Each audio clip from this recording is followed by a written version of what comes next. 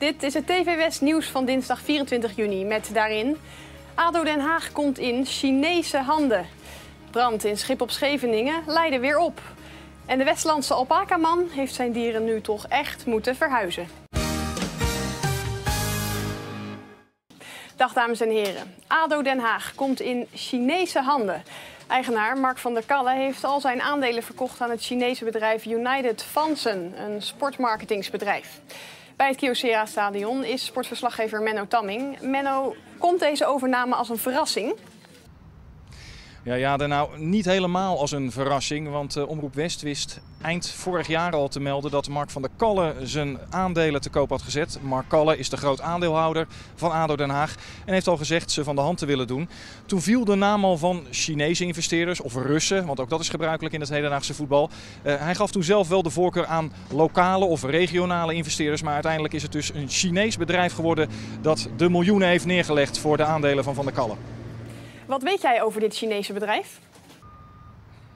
United Fansen is een groot sportmarketingbedrijf in China. Eh, een miljardenbedrijf dat onder andere de Spaanse en Franse Supercup jaarlijks organiseert in Peking.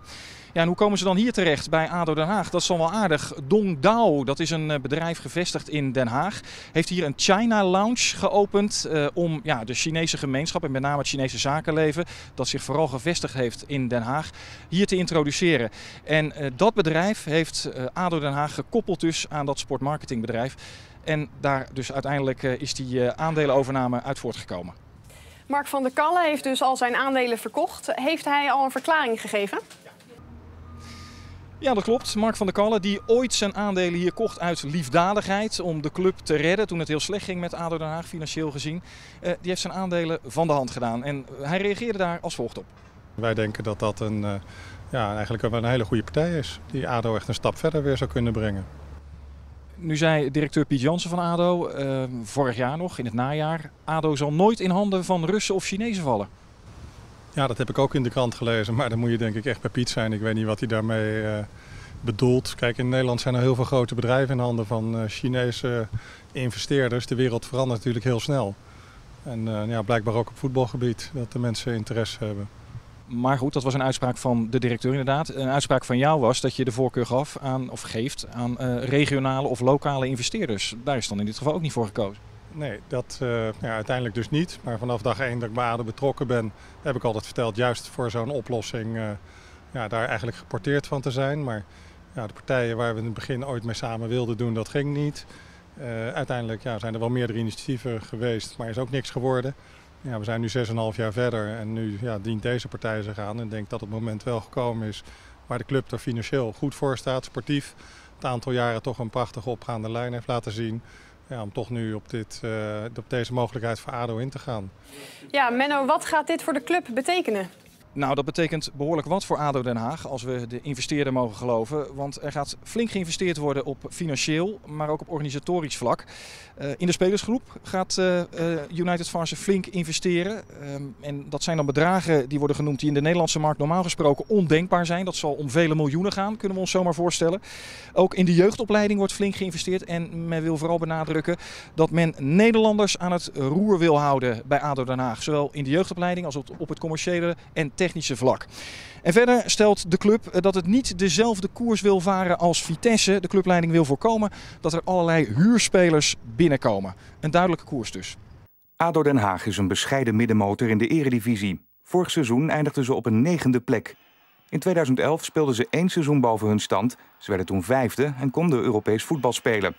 Het seizoen daarna eindigden ze op de vijftiende plek. De begroting van de Haagse Eredivisieclub groeit de afgelopen jaren langzaam. Vorig seizoen was het zo'n 14 miljoen. En ook dat is gemiddeld als je het vergelijkt met de andere eredivisieclubs. In 2007 stond de club nog aan de rand van een faillissement. Mark van der Kalle nam de club toen over.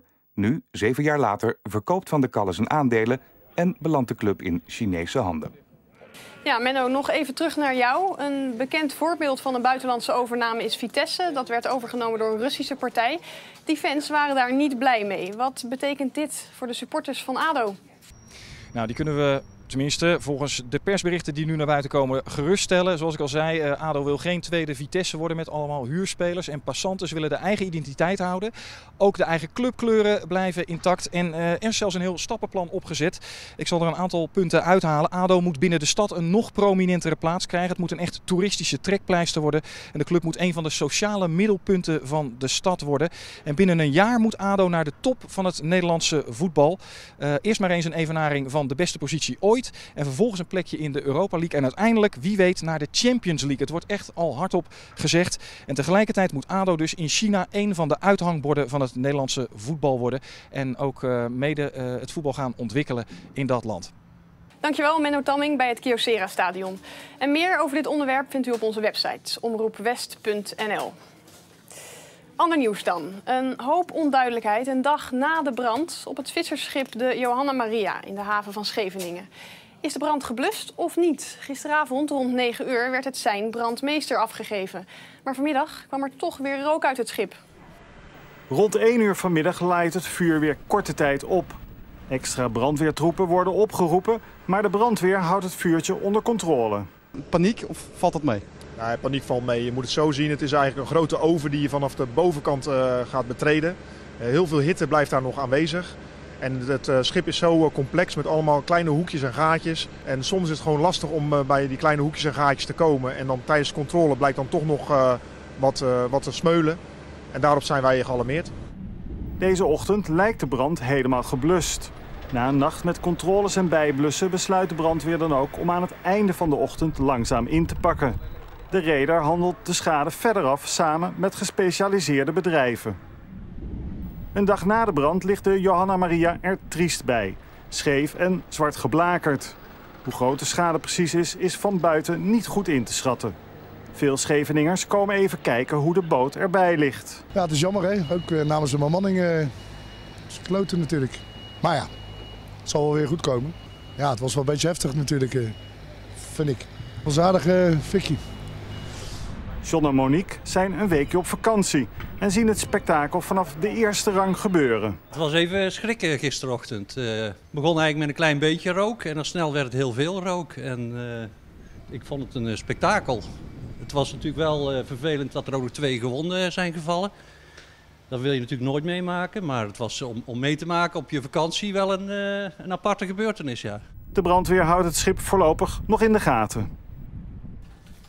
Ze zijn zich rotgeschrokken in Maasdijk. Een motorrijder overleed gisteren na een aanrijding op de dijk. Een jonge man van nog maar 25 jaar oud uit Schravenzande. Mensen die langs die dijk wonen vinden de verkeerssituatie veel te gevaarlijk. Ze kijken nauwelijks meer op van een ongeluk meer of minder. Toch maakte dit ongeluk weer veel indruk.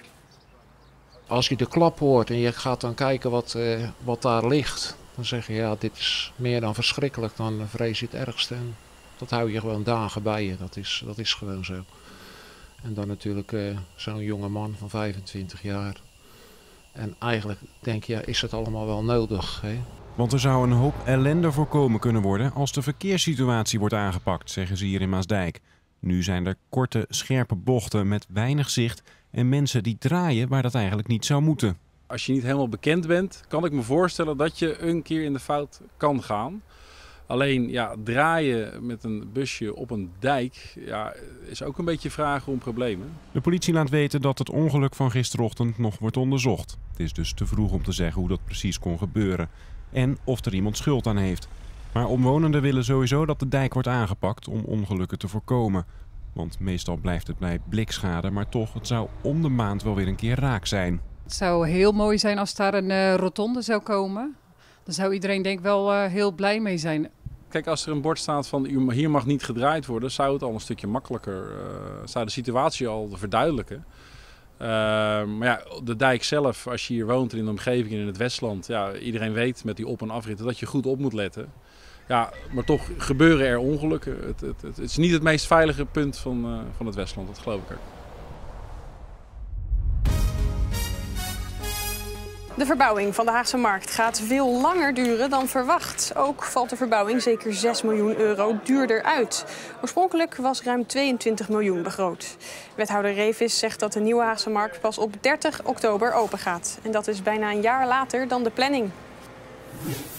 De nieuwe wethouders van Den Haag hebben vanochtend ontbeten met inwoners van de stad. Dat gebeurde in de bibliotheek aan het Hobbemaplein bij de Haagse Markt.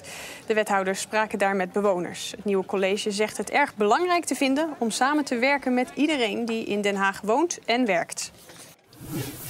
De kans is groot dat u straks veel minder betaalt voor een advocaat. Dat komt door twee Haagse strafpleiters.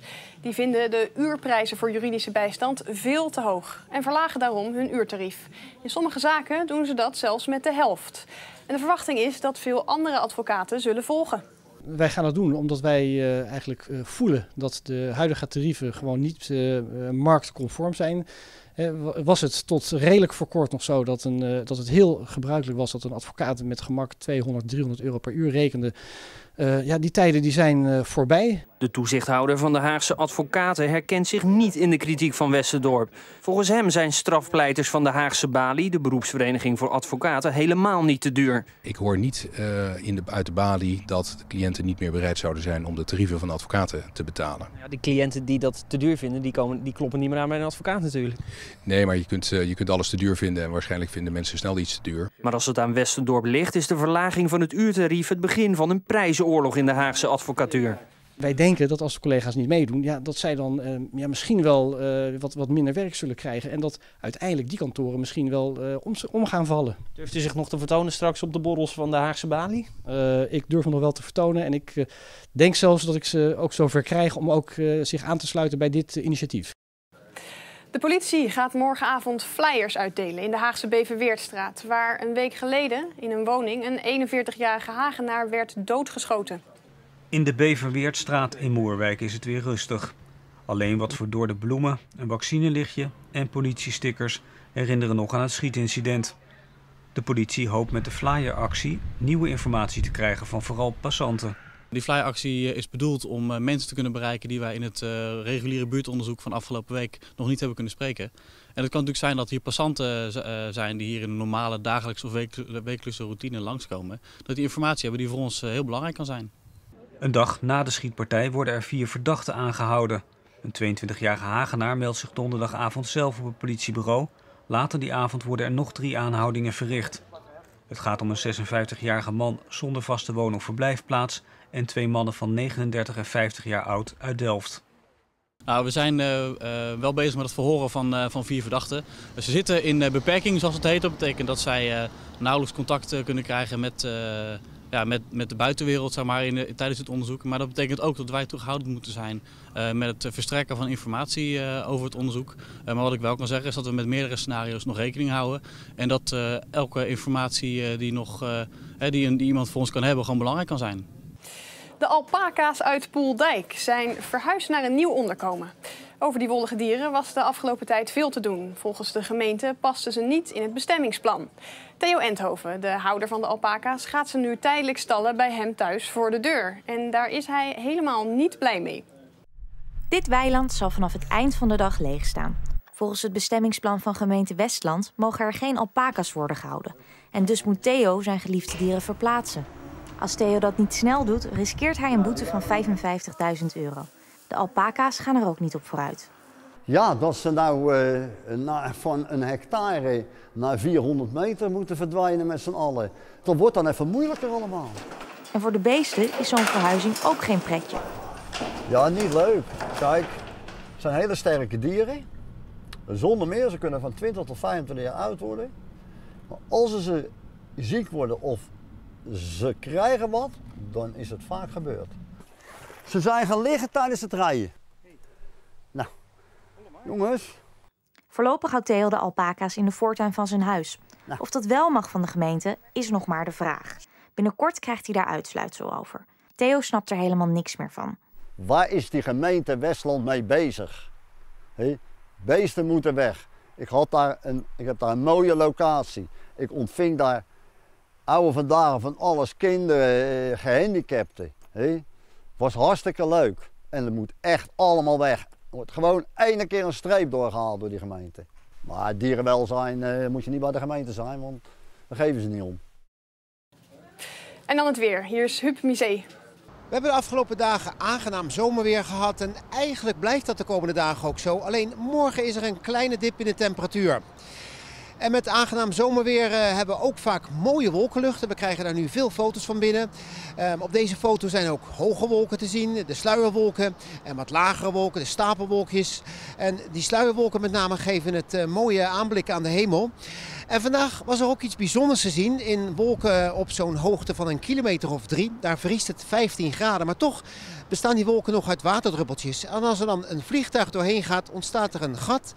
Daar, en in dat gat ontstaan dan weer ijskristalletjes. Die wolkendruppeltjes bevriezen tot ijskristalletjes en dan krijg je zo'n merkwaardig vliegtuiggat. Nou, voorlopig uh, niet zo gek veel verandering. Er komt een zwak front uit het noorden en dat betekent wel dat er vanavond hier en daar een bui kan voorkomen. Voor de rest vannacht opnieuw wat wolkenvelden met ook weer wat opklaringen. En verder nog steeds een noord-noordwestenwind die vannacht zal afnemen tot windkracht 2 à 3. En de temperatuur die daalt tot ongeveer 10 graden. En morgen overdag, nou overwegend droog. De kans op een bui blijft maar klein. En ook dan weer wolkenvelden die worden afgewisseld door wat opklaringen. En de noordenwind voert dan wel wat koelere lucht aan zoals ik zei. Morgen wordt het ongeveer 18 graden. Maar vanaf donderdag kan de temperatuur alweer hoger worden. De wind wordt wat meer noordoostelijk. We krijgen opnieuw periode met zon, maar in de loop van de dag ook wel kans op een bui op donderdag. En dan smiddags een temperatuur van zo'n 22 graden. Dankjewel, Huub. En tot zover het TV West nieuws voor dit moment. Meer nieuws vindt u natuurlijk op omroepwest.nl, onze apps en natuurlijk bij de collega's van 89.3 Radio West. Zometeen kunt u hier kijken naar de West-Oranje Safari. En de jongens zijn vandaag in de kooi in Leiden. En daar ontmoeten ze natuurlijk, hoe kan het ook anders, Beb het medium. Dit is beschamend. Beschamend? Ja, als Zo? je 5-1 bent Ja? van de wereldkampioen, Ja? Dan moet je tegen Chili het met 2-0 Fred de hek. Meen je dit? Beb is niet tevreden? Nee. Hoe dat afloopt ziet u zometeen. Blijf kijken dus. En wij zijn er morgenochtend weer vanaf 7 uur met het TV West nieuws. Graag tot dan en nog een hele mooie avond.